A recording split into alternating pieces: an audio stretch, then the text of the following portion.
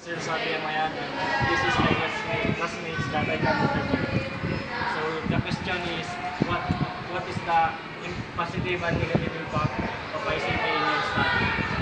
And for me, the positive impact of ICT is using internet for for helping us to our study, like searching assignment, uh, research, ganun, project.